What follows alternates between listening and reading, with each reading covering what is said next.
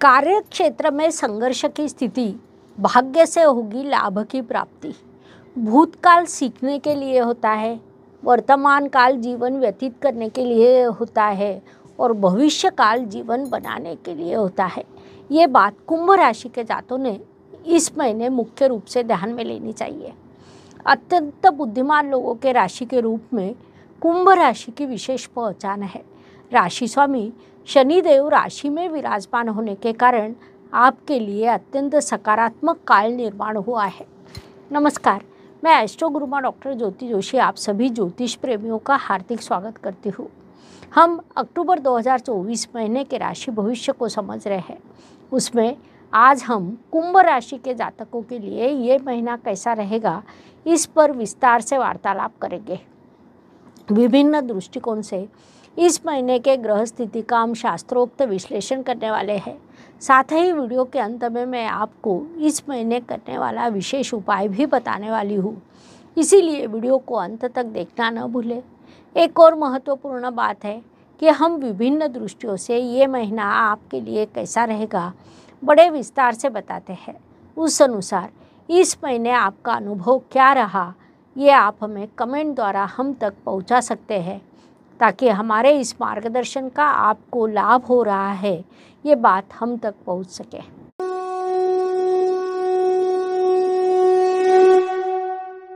व्यक्तित्व की दृष्टि से जब हम विचार करते हैं तो राशि स्वामी की स्थिति महत्वपूर्ण होती है।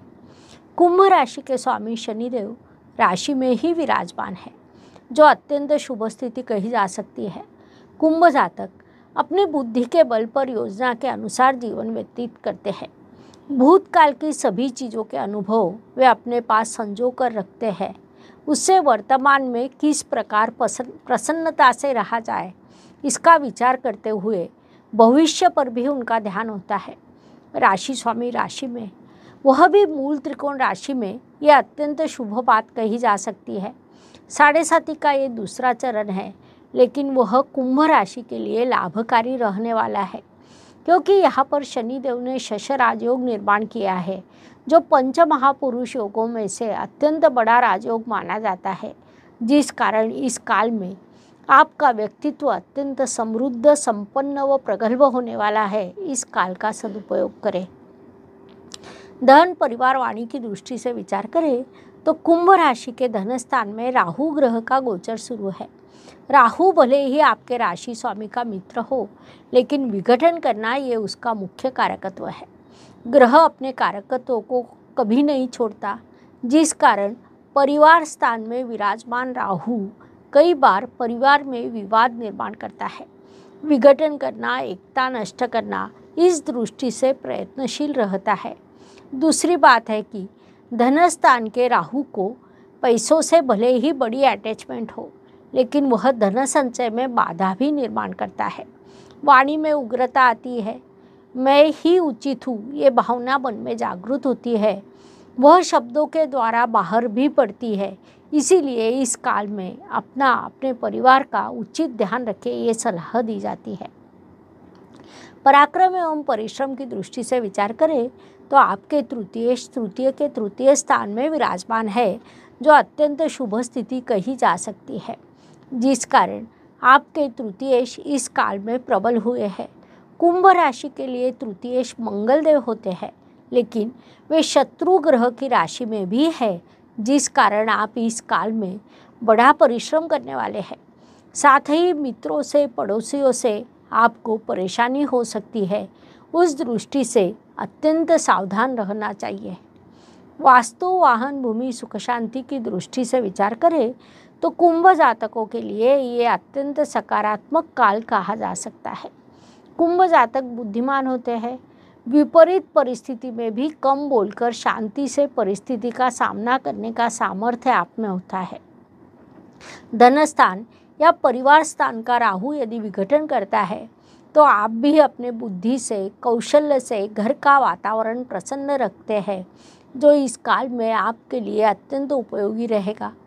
वास्तु के शुभ योग आपके लिए निर्माण होंगे।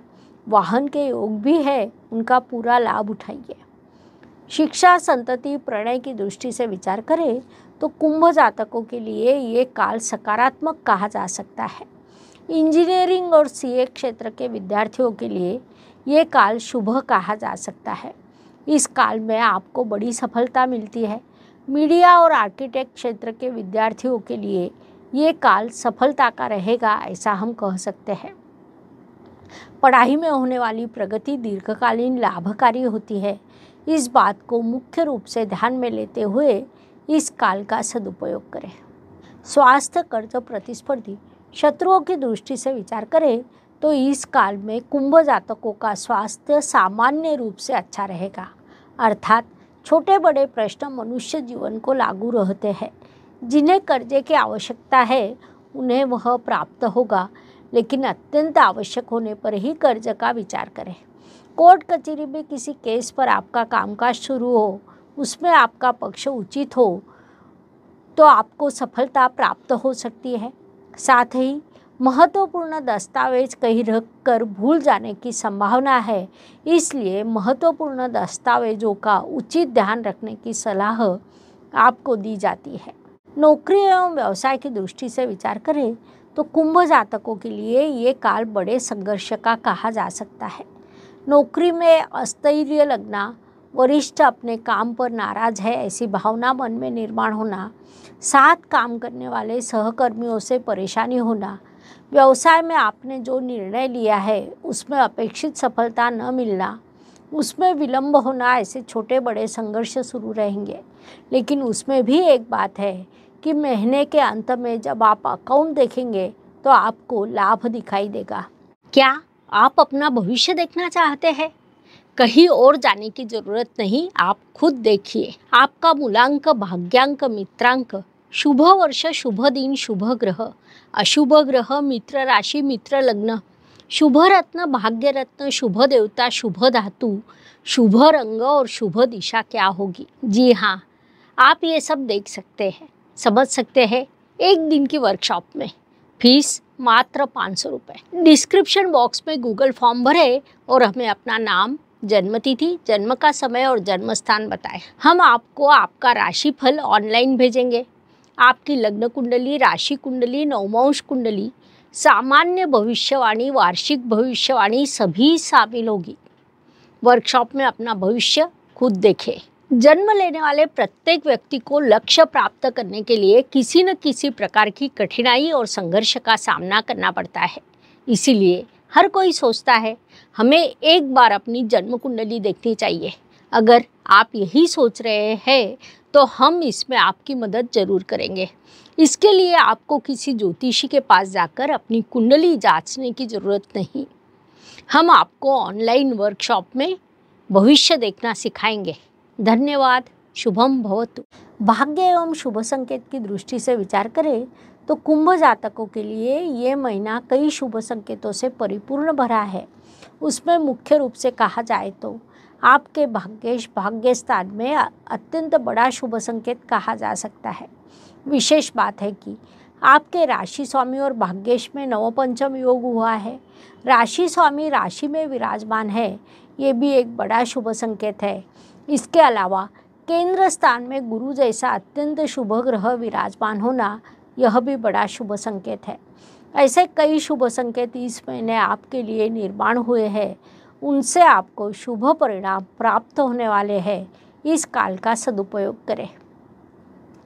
कर्म की दृष्टि से विचार करें तो कुंभ राशि के लिए मंगल देव की स्थिति महत्वपूर्ण होती है, क्योंकि वे आपके कर्मेश है। कर्म अधिपति जब पंचम स्थान में होता है, तब आपके पिताजी के जीवन में कई बार संघर्ष निर्माण होता है। उन्हें विभिन्न कारणों से संघर्ष का सामना करना पड़ता है। ऐसे काल में उनके स्वास्थ्य का ध्यान रखना पड़ता है या उनके व्यवसाय में नुकसान होने की संभावना रहती है। इसलिए उस दृष्टि से उचित ध्यान रखना आपके लिए अत्यंत आवश्यक रहेगा। आप अच्छा परिश्रम करेंगे, उससे आपको भविष्य में अच्छे फल प्राप्त होंगे। लाभ की दृष्टि से विचार करें तो कुंभ जातकों के लिए इस काल में विभिन्न पद्धतियों से लाभ योग निर्माण होने वाले हैं। अर्थात पुरानी वास्तु से, शेयर्स से, व्यवसाय से, नौकरी से आपको अर्थ लाभ प्राप्त हो सकता है। संक्षेप में ये महीना बड़ा लाभकारी रहेगा।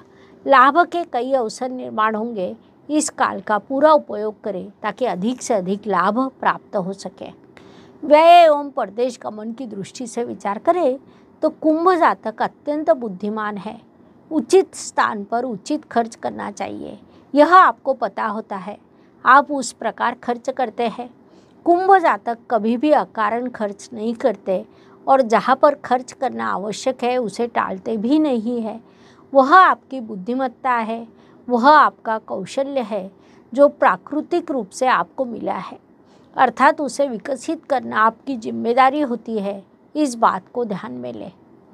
हर सुबह नया दिन प्रकट होता है, उसके बाद रात होती है। अर्थात दिन के बाद रात और रात के बाद दिन, ये प्रकृति का चक्र है। ये चक्र मनुष्य जीवन पर लागू होता है। फलस्वरूप, हर दिन हर किसी के लिए एक जैसा या समान नहीं होता। कुछ दिन शुभ, कुछ अशुभ या तनावपूर्ण होते हैं। इस दृष्टि से कुंभ राशि के लिए छः, पंद्रह और तेईस ये दिन शुभ रहेंगे। साथ ही तीन, तेरह और इक्कीस ये दिन अशुभ, तनावपूर्ण तथा संघर्ष से भरे रहेंगे। इसी को ध्यान में रखते हुए आपको इस महीने कार्यों की योजना बनानी चाहिए। उपायों की दृष्टि से विचार करें तो ज्योतिष में अत्यंत छोटे छोटे लेकिन बड़ा परिणाम करने वाले उपाय बताए गए हैं।